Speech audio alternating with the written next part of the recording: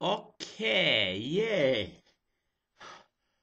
Well, uh, this was a mixed night of Nickelodeon premieres. Whose idea was this Halloween theme? I don't like it, but, uh, okay, whatever. Um, this week's iCarly was a bombing. Usually a great show, but this episode I have a negative review of. Um, Bad Boy Nevel was back. Uh, and the chocolate that gives them the voice? How unoriginal is that idea? The whole plot was just unoriginal. uh, the only good thing I have to say about it is that Reed Alexander, who plays Nevel, displayed some excellent acting talent.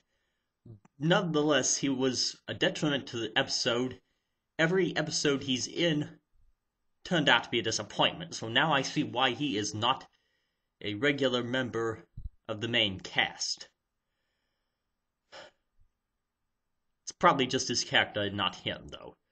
Uh, Jennette McCurdy as hand sanitizer, yes.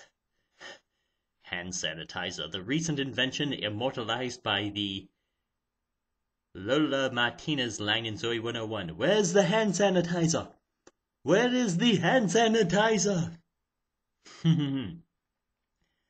but uh, this just was not uh, one of the best episodes of iCarly. Far from it. Oh, now How to Rock was uh, somewhat better. Uh, the Chosen One, vampires, werewolves. You know what that all reminded me of? Ever play the board game Atmosfear? That. If you have, you know I'm talking about. If not, you don't, but okay. So the Book of Truth. They suggest they go to the Book of Truth, and someone else says, I already suggested that. Coincidentally, I am currently reading this uh, biography book of Steve Jobs.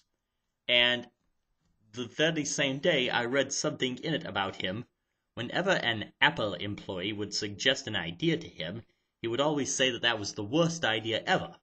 But if he actually liked the idea, he would come back in a week, pitch the idea himself as if it was his own idea, and they would say, Well, I said that a week ago, and he'd say, Yeah, yeah, get on with business. So, coincidence that I read about that and saw this on the same day. The teacher in How to Rock in his costume, you know who he looked like? Ron Wood from the Rolling Stones, who also played for Rod Stewart's band Faces. Now, the song uh, Kacey was singing at the end was a good song, so uh, I'll give that to it. Uh, then that one guy saying, Grace must have been a hot vampire. Yeah, that guy has a crush on Grace.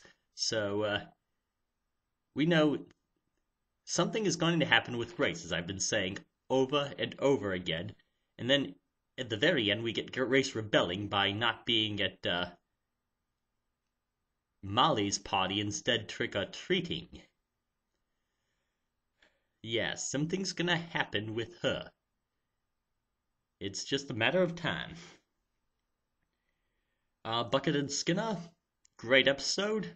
Not one of the best, but uh, funny in its own way all the actors did a good job. Uh, how could she not pull her hair out of the cash register? And then you had the twins coming out saying, Come and play with us, reminding us of the movie The Shining.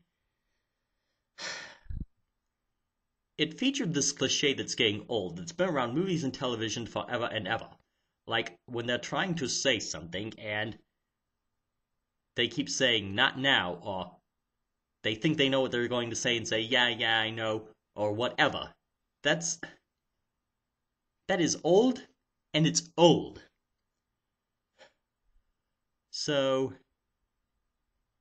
Uh, hopefully, uh, next week will be better with a new, uh, Victorious and all that. Till then, this is your Nick, Nick, Nick, Nick, Nick, Nick, Nick, Nickelodeon Nutcase.